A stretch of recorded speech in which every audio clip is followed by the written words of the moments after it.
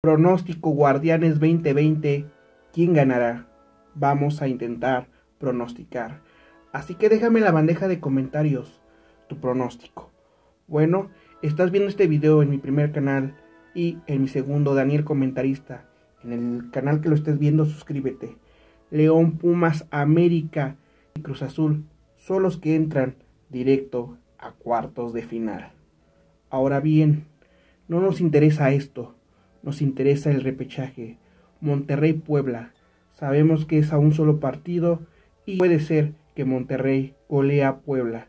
Sí, ya se enfrentaron y ganó Monterrey. Sin embargo, Monterrey tiene una buena plantilla y puede demostrar de lo que está hecho y obviamente van a quitarse esos errores del torneo aplazado. Tigres Toluca va a ser reñido. Incluso para mí, creo que Tigres ganará por la mínima diferencia. Chivas Necaxa es más complicado porque el profe Cruz empezó a ganar con Necaxa, sin embargo, obviamente no habrá juego por fecha FIFA, sin embargo, eso podría mermar la continuidad de esto que está embalado Necaxa y obviamente Chivas ya empezó a ganar, lo que provocaría que Chivas ganara tanto en penales o si no con un gol de diferencia. Bueno, Santos Pachuca, este para mí es el más reñido, ¿sí? Puede ser un gran empate y en penales se define, sin embargo yo le pongo la fichita a Santos Laguna. Por lo tanto, la liguilla, los cuartos quedarían así.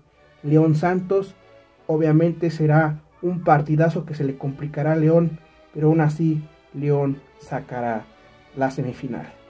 Puma Chivas, para mí creo que es más tranquilo esto, lo cual le pongo la fichita a Pumas porque tiene mejor nivel, tiene mejor calidad al momento de lo que se desplegó en este torneo.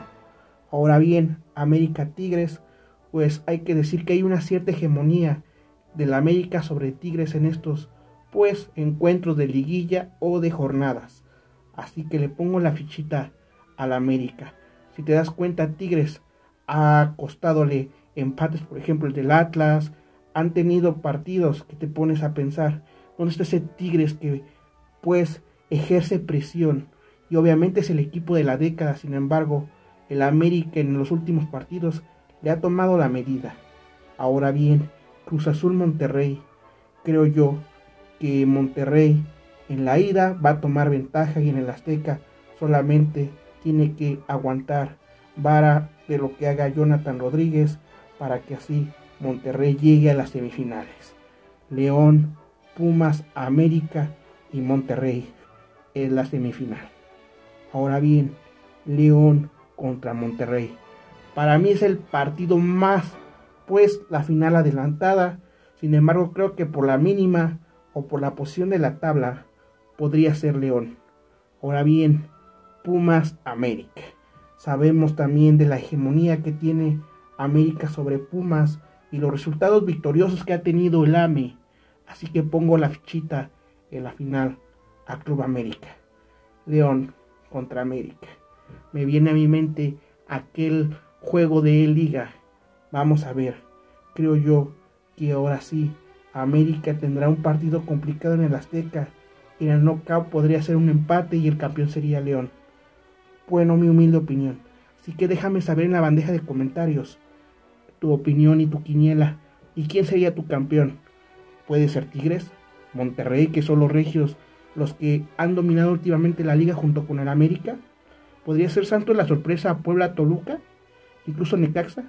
Tú dime, suscríbete a este canal, ya sea Daniel Comentarista o Daniel Velázquez Celoso. Soy Daniel, muchas gracias.